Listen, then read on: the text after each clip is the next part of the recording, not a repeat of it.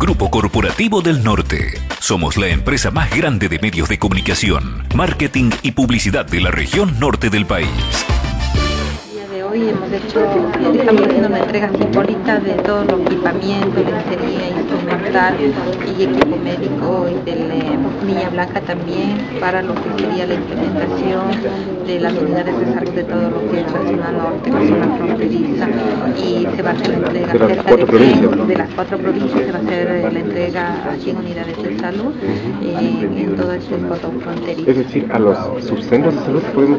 O, Sí, lo que pasa es que ahora el Ministerio de Salud ha hecho otra categorización y ya no hay puestos de salud ni subcentros de salud, sino todos se llaman centros de salud. Están hospitales, cate- ¿o no? no, esos son hospitales, Hospitales. sino que ya están dando otra denominación A, B y C de acuerdo a las horas de trabajo, al equipamiento y al, al, al eh, a la jornada laboral y a la, a la prestación que reciben. ¿no? Doctora, ¿esta entrega la hizo Plan Ecuador?